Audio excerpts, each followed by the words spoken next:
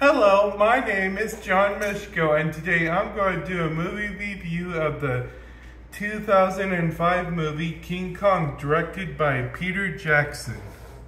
I love this movie because it has great special effects, and they always make them more scientific and historic accurate, and, and especially love how they did King Kong, how they tried to make him more, more like a mountain gorilla other than the 1933 film.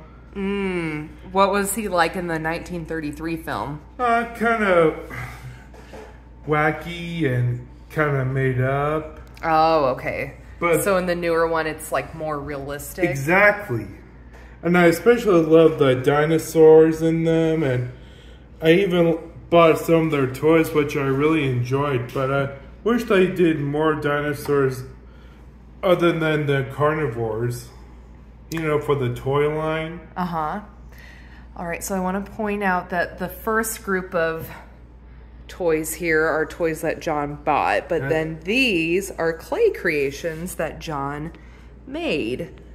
They're so detailed. I know.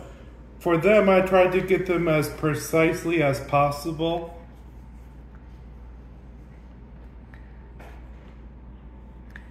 Yeah, my uh, videos don't do your clay creations justice. They are really fantastic. Thank you. In person. Oh, and then you made this. I'm gonna bring it That's over here right. in the light, maybe.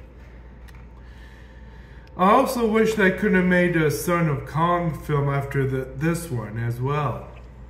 So that's why I tried to get people to support this movie other than other Peter Jackson films.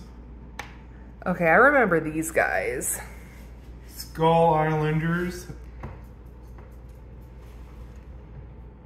So good. Love the red eyes. Yep.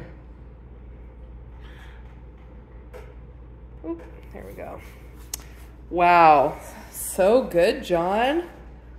And I even bought some of their books like The World of Kong, The History of Skull Island. What I love about it is all the illustrations they have, and I wish they made toys from these books as well.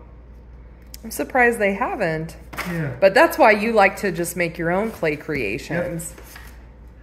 And is the official graphic novel from Dark Horse.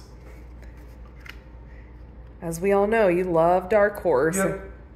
It's just so I try to support them as possible other than Marvel and Star Wars. Very cool. Thanks for sharing with us about King Kong and what sort of movie review do you give King Kong? I give it five stars and I wish they did a remake, Peter Jackson did a remake of Son of Kong after this one. Mm. Never give up. Yep. Please visit my Etsy shop on John's Clay Creations.